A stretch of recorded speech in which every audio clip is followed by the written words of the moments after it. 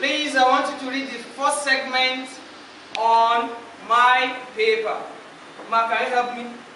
And before then, I would like the gentleman here to tell me what he was told. Yes, sir. Okay, I told the teacher attend eternity and was lost. Wow. Please, uh, Mark, can you help me read the first segment here? A teacher affects eternity. Never can tell where his influence stops. Thank you. You may have your seat. Thank you, thank you, thank you.